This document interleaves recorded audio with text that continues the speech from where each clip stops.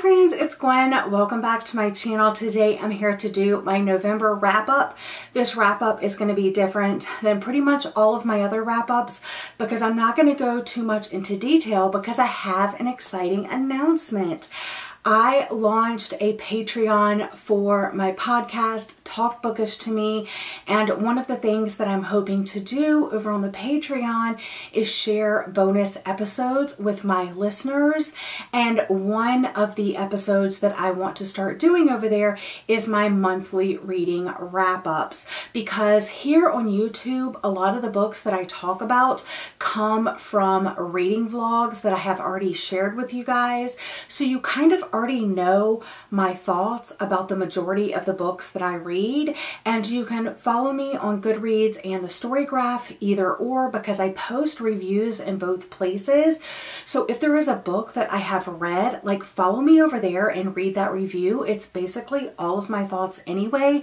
So I have kind of felt in the last few months or so that these videos, these wrap-ups are a little redundant for me, for you guys, because I've already talked to you guys about these books and I post my thoughts in other places on Instagram, Reads, the Storygraph, all of that.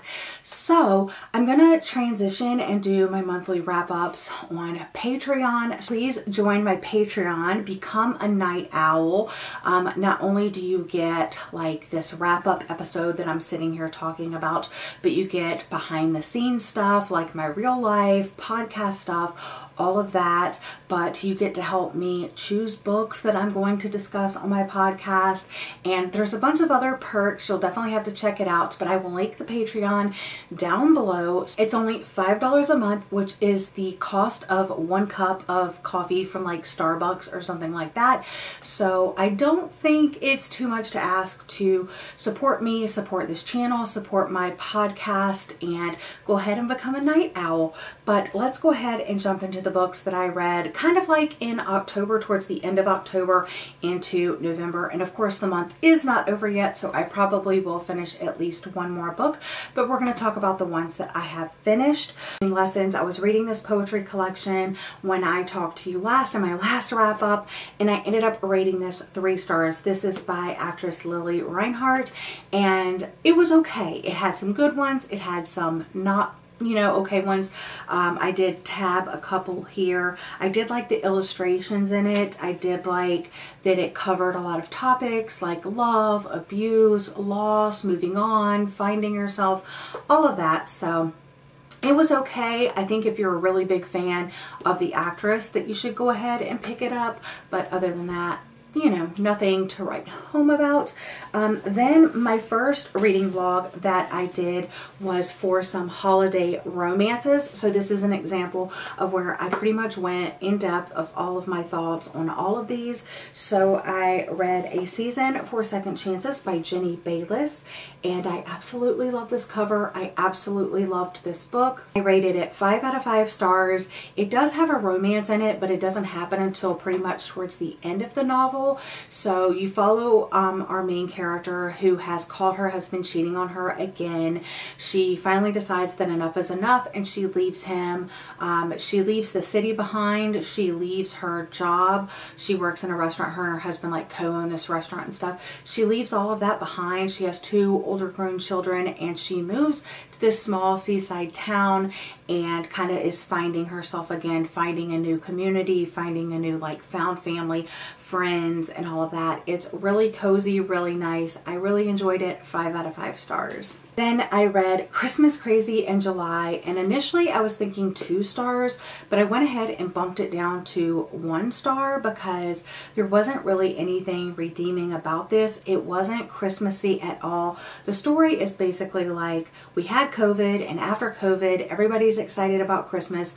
Why not celebrate Christmas in July? And I think there's like this one actress or influencer that suggests it and kind of this town just kind of takes over and wants to celebrate Christmas.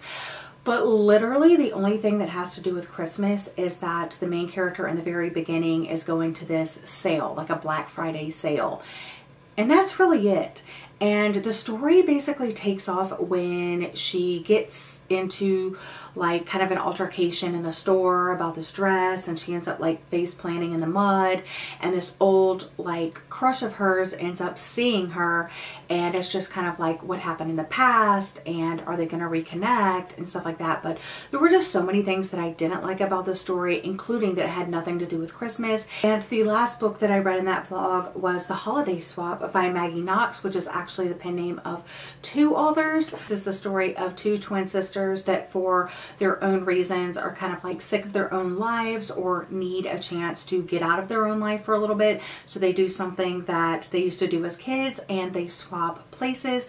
But of course, as adults, this has like different kind of consequences. So one is working in LA. She is a co-host of this baking show and she ends up getting a concussion and she can't taste or smell anymore. So she needs to leave and have her sister take her place because she doesn't want to ruin this opportunity that's on the horizon. And then her sister is just kind of stuck in their family bake shop and just kind of doing the day in, day out thing. So they swap places. They end up connecting with guys in their sister's lives. And yeah, it's just kind of two romances in one. I thought it was really cute. I rated this one 3.5 stars. Right, and the other one I'm going to talk a little bit more about is The Kitchen Front by Jennifer Ryan. This was one of my most anticipated books of the year, and I thought it would be really fun to read right around, you know, Thanksgiving time, and I did pick it up. I did start it. Um, I don't know how far I made into it, but I ended up DNFing this just because I wasn't getting into the writing.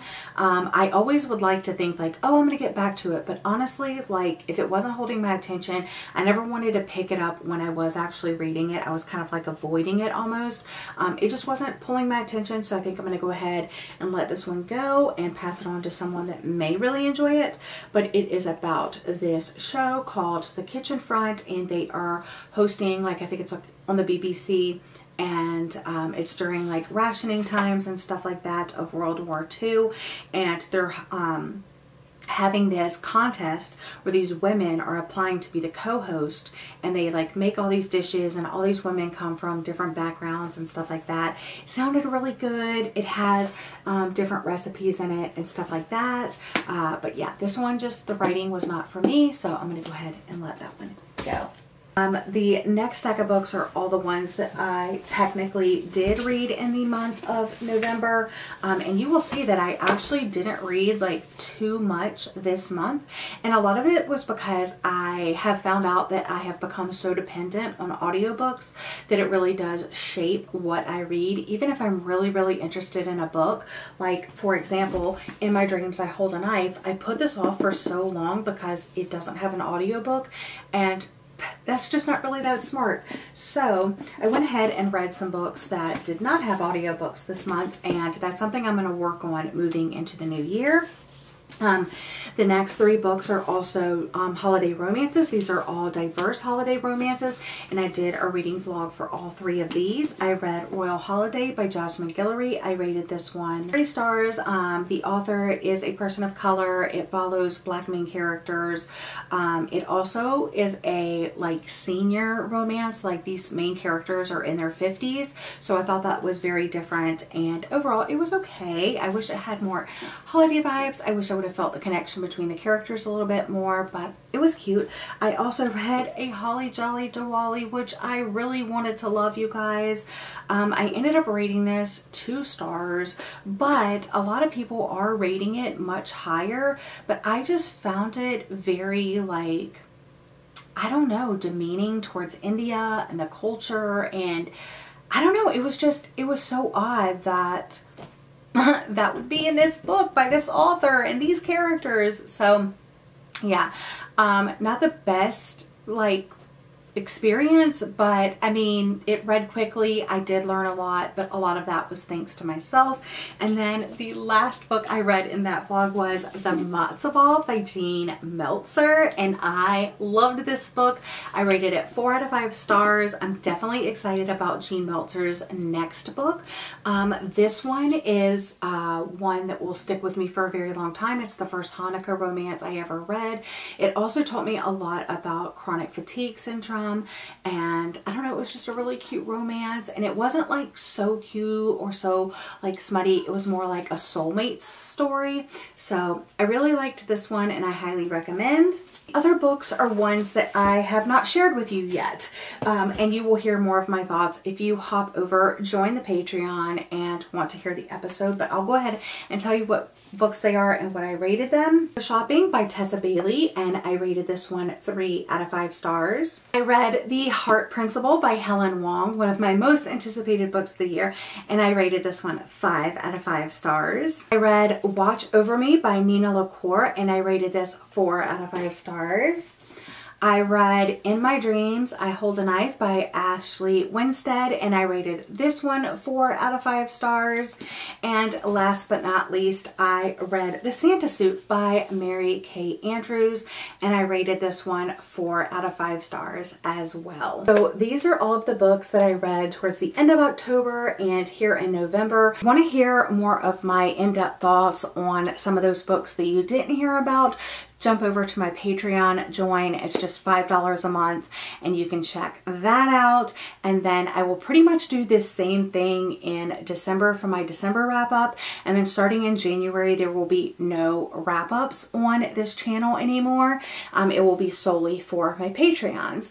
Um, but yeah, for only $5 a month, you can check out all of my thoughts over there or you can check Goodreads and the Storygraph. But that's all for today's video. Thank you so much for joining me. I hope hope you're all having a lovely day or night and I'll see you guys again in another video very soon. Bye!